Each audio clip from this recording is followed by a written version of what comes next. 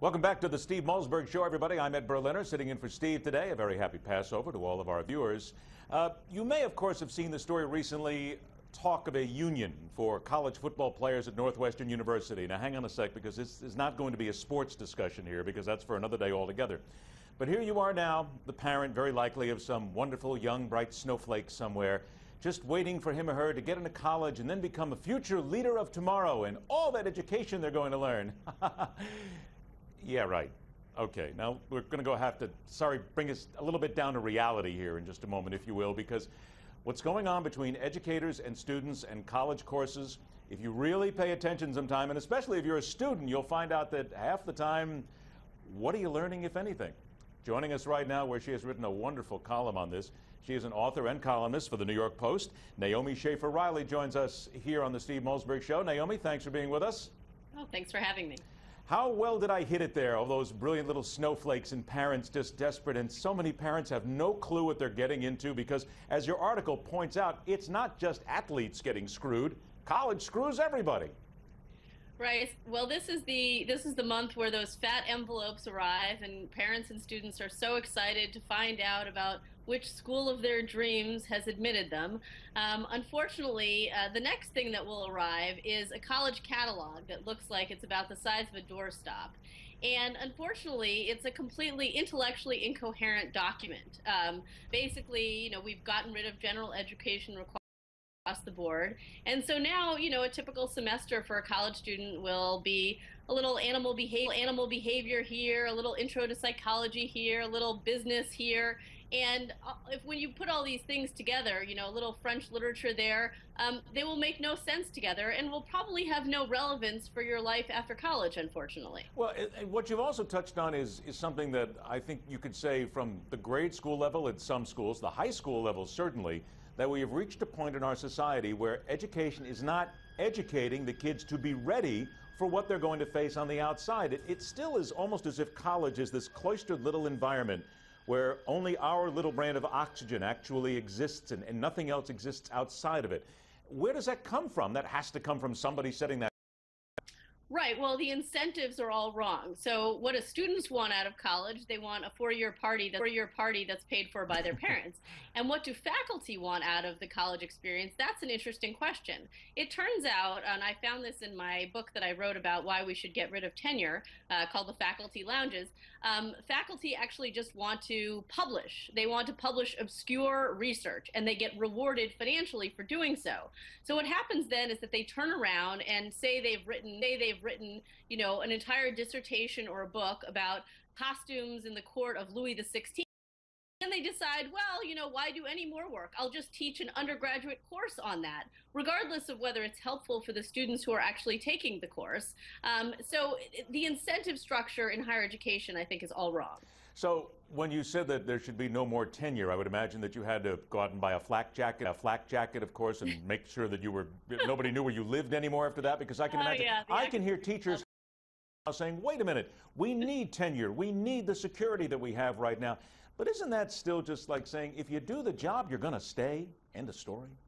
Right. Well, I, I advocate for what the rest of us mostly work on, which is, you know, multi-year renewable contracts. And when we don't, you know, live up to the terms of our contract, then we don't get the contract renewed. And the rest of the world somehow seems to manage to get by with that. But I think one of the biggest reasons to get rid of tenure is because it really incentivizes this publish or perish mentality. And it focuses faculty much less on what's going on in the classroom and giving students the tools that they need to succeed um, and even the tools that they need to become good citizens. Um, and instead just focuses on, you know, how they can get published in an obscure academic journal. All right, so let's take this down to the level of what you said with envelopes arriving right now. Uh, you're a parent and you're getting your kid ready to go to college right now, and you want your kid to get a really good education. Your kids, let's face it, at 17, 18 years of age, how many of us really know what we wanted to do in the first place? But you want your kid to get a, a good education. You don't want to waste money. What should you be looking for? What are those red flags that say, this is a college that's wasting my money?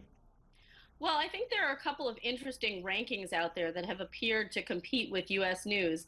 Um, one that's interesting is put together by the American Council of Trustees and Alumni. It's called ACTA. Huh? And um, and the, the and the, the report is called What Will They Learn? And it actually goes through most of the major universities in the US and asks about graduation requirements, like will this person be required to take a basic history course? Will they be required to master writing in some way? Will they be able to take a basic statistics course? Will they be required to? And I think, you know, that really gives you a good substantive sense of the curriculum. There's another ranking put out by Forbes magazine uh, that looks at bang for your buck. It compares, um, you know, starting salaries for graduates coming out of a lot of these schools. And I think that's something a lot of parents will be interested in. It also looks at student loan debt, which is a very uh, important issue for a lot of students who are uh, matriculating now. There was a Gallup poll done in February, and I want to show everybody the numbers on this because I, I think it says it partially looks to a little bit of what the discussion is here today. Finds that 14% of Americans and only 11%, this is stunning, 11% of our business leaders they agree that graduates have the necessary skills and competencies to succeed in the workplace. That's 89% who say they don't have enough to get out there. So, knowing all that right now, what is it that you can do to wade through this morass of classes you don't need in order to become better educated for society today? Well, um, I think you need to steer clear of a lot of the sort of politically correct area studies. Ah, um, ah, politically correct. My goodness, how did I know that that phrase would walk uh, in there yeah, somewhere when well, it comes to education? Steer clear, you know, the gender studies, the ethnic studies, and the rest of those. I don't think you're going to get a substantive education in those.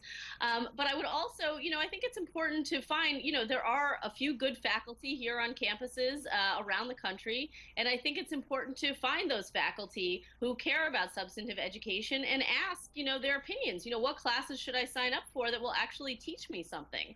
And I think students really know who those faculty are. Um, they're just a little bit reluctant to go ask the really difficult professor for advice.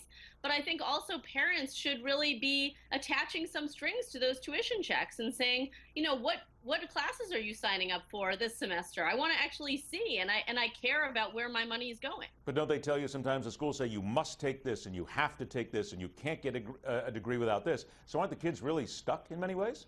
Unfortunately, um, most colleges don't tell you enough of that of, of, what you need to take. And so, college, you know, college catalogs are like those old choose your own adventure books, you know, where you have an 18 year old just sort of flipping through the pages and saying, "Oh, this looks fun," but you know, 18 year olds don't know what they don't know. And so, I think you know, a little bit more adult guidance here would be very useful.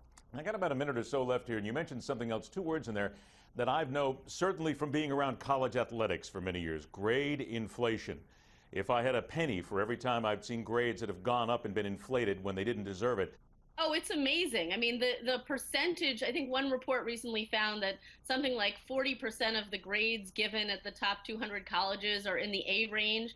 Um, I think what's happening here is that administrators and faculty are doing a real disservice to students.